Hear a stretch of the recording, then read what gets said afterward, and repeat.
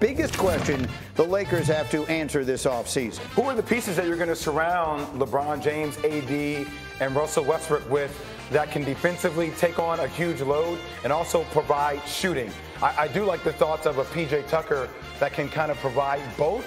I think that's something that you could potentially see go down for the Lakers, but those ancillary pieces are critical. It brings that toughness, too, that uh, sometimes you felt like this team could use. And then, obviously, the really big one right across the river behind us in Brooklyn. Is Kyrie Irving going to opt out of his deal when, with the Nets?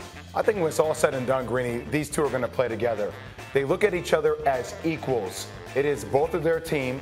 And with KD and Kyrie, with Joe Harris, with Ben Simmons coming back, there's going to need to be a line drawn in the sand. At the end of the day, the Nets organization is going to need to recognize that. If KD wants Kyrie to be a part of this championship team, then inevitably he will be a part of the team. So, so that's the interesting piece here. And I want to bring Windy back. And, and I got, oh, Chiney Ogwumike has gotten up with us early this morning as well. Chiney, thank you, as always, here for the draft and, and tons to do. But, Jay, I'll, I'll come back to you on that quickly because you say they see each other, and I apologize for the voice. They see each other as equals. That's all well and good. But as of this moment, they don't get to make all the decisions here, right? The Nets have to be willing to give Kyrie the supermax or run the risk that he will decide he has better options are they willing to give him what he wants beyond just him opting in for one more year? Well, like I said, then the conversation becomes different. If you're not willing to give him that, then you have to be willing to part ways with Kevin Durant. And the question is if the Brooklyn Nets want to go back to a rebuild. And right now they're so close to winning a championship do you just take your do you take your lumps and do you say for next two years if this is our window then we're gonna we're gonna be all in with KD and Kyrie? I understand why you say that, and I, bring Chiney in on this. They did get swept in the first round of the playoffs last year, but I understand. In theory, they would have Ben Simmons. In theory, they will have a, a full year of all these guys together. So, and, and, Vegas does agree with you that they are that close to a championship. Chiney, how do you see it? If you're making the decisions in Brooklyn right now, how are you playing it with Kyrie and I guess KD along the way? Way as well. I would hope for a short term deal for Kyrie Irving based on how the last few years have played out. And there has to be a little realism knowing that this is the push to win a championship in the short term.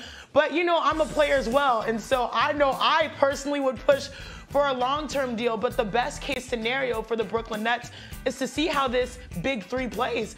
And let's be real, this is a big three that has the potential to be the best in the East. You've got the best scorer that's a seven footer in Kevin Durant. You've got Ben Simmons, probably the most versatile defender in the NBA. He needs a defensive player of the year if he's locked in.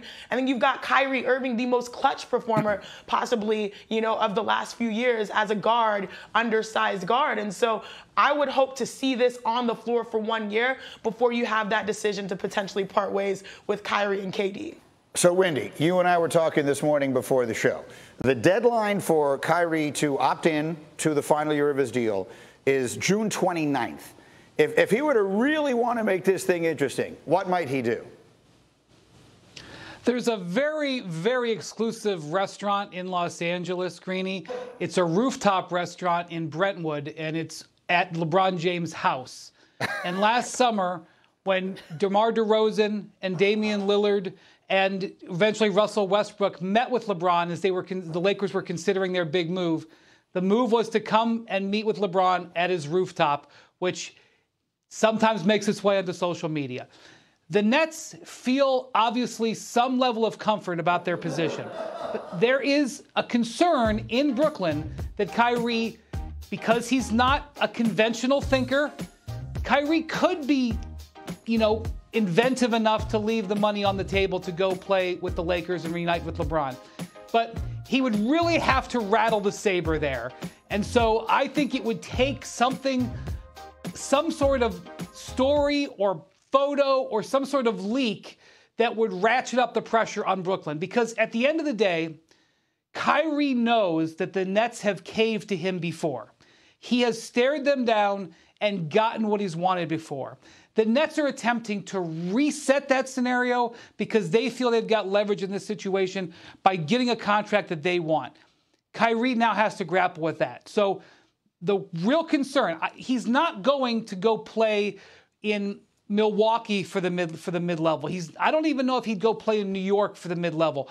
But going to play with LeBron and the Lakers for the mid level, you can't rule that out. So he'd have to twist that possibility to make the Nets sweat, and that would take some sort of action to you know create that um, that feeling. Oh, I love it. And Chiney, I could tell you loved it as well. What if next week we got a picture of LeBron and Kyrie drinking red wine on LeBron's roof oh in Brentwood? Now what? I'm telling you, you can't like make this up. But the crazy thing is, this is kind of titillating. As someone that currently plays for a Los Angeles sports team, like literally, I played two days ago for the Sparks. Mm-hmm. Um, this is something that actually seems, you know, they might be desperate enough to say that this is a piece that could actually work for us. Meaning, they really need that guard leadership.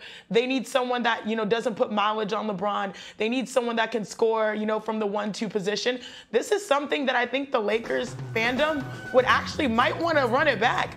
And more so, basketball fans, aren't we nostalgic? We love the ideas of, you know, people reuniting after going away for some time saying, hey bro, hey bro, I know we saw, we didn't see eye to eye, but finally we're back here together and we can try to make this fairy tale ending of winning a championship in one of the most storied franchises ever. That's the part that, yeah, that will make the Brooklyn Nets sweat because at the end of the day, as basketball fans, these are things that we love to see, even though the likelihood of that is a little sus. Why I, do you look can, so skeptical? Well, no, I'm not skeptical because I, I, think this is all a great scheme. See, because you guys act like players aren't on the same page about them getting the most money. Uh-huh. So if I'm KD, if I'm Kyrie, I'm like, if, if I do want to play into the whole Brian Windhorst thing there, right? I'm saying, okay, cool. KD, look, this is how this is going to go. I'm going to go out to LA. I'm going to have a picture with LeBron, us having red wine. I'm going to get the deal because Everybody in the world knows that KD is one of the most competitive dudes on the planet. Can you imagine the size of the knife that you would take out of KD's back mm. if Kyrie would go to LA to play with LeBron James would be sizable. Like it would blow up everything. Right. So if you're going to do that, play it the right way, get your money, all for them to be back in Brooklyn where it all began in the first place. It because trust me, at the end of the day, KD wants Kyrie to be happy. If Kyrie is happy, that means he's bought in. If Kyrie's not happy, that means he can be volatile. If there's anything, you don't want more volatility on a team that is so close to getting over the hump. I love. You don't want it. I love everything play about the system. Them. Windy, put a ribbon. on. We have more on this as we go, but for the moment, put a ribbon on it for me, Windy. Go. I would almost tell you in the history of the NBA that I can't think of another player who would legitimately leave $30 million on the table and leave Kevin Durant to go to Los Angeles.